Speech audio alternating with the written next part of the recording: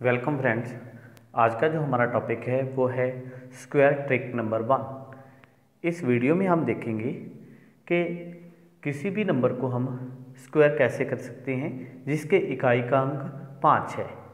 जैसे हमारे पास नंबर दिए हुए हैं ट्वेंटी फाइव पच्चीस, पैंसठ, पचहत्तर और एक सौ पाँच। इन सबके इकाई का अंक पाँच है।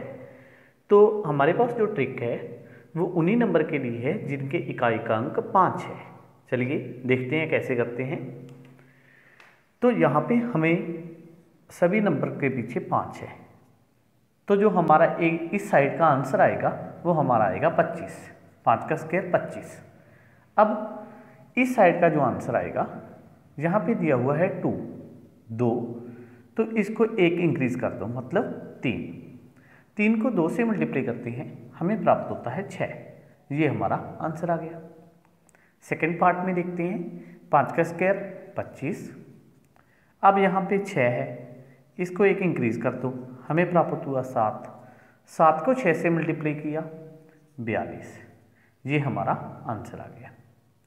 यहाँ भी पाँच का स्क्वायर पच्चीस। इस सात को एक इंक्रीज किया, आठ।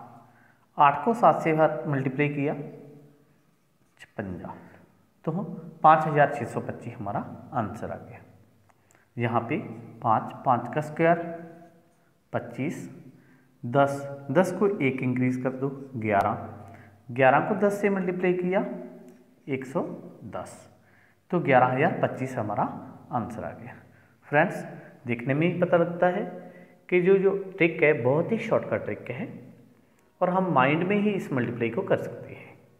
थैंक यू अगर आपको मेरा ये वीडियो पसंद आया तो मेरे चैनल को सब्सक्राइब करना मत भूलें।